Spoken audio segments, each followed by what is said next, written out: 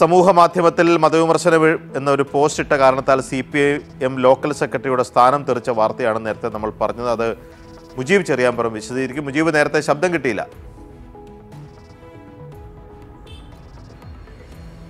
അതെ P G സാങ്കേതിക പ്രശ്നമായിരുന്നു പരിഹരിച്ചിട്ടുണ്ട്.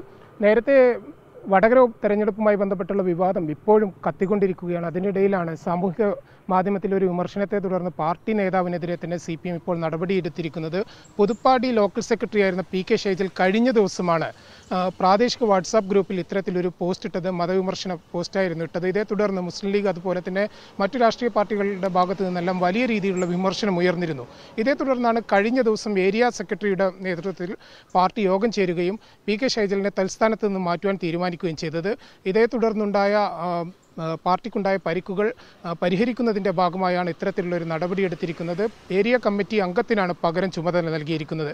ഈ വിമർശനത്തെ തുടർന്ന് ഈ പോസ്റ്റിനെ തുടർന്നുണ്ടായ പാർട്ടിക്കെതിരെ നടക്കുന്ന പ്രചാരണത്തിനെതിരെ പാർട്ടി പ്രവർത്തകർ ജാഗരൂകരായിരിക്കണമെന്നും പാർട്ടി നിർദ്ദേശം നൽകിയിട്ടുണ്ട്. പി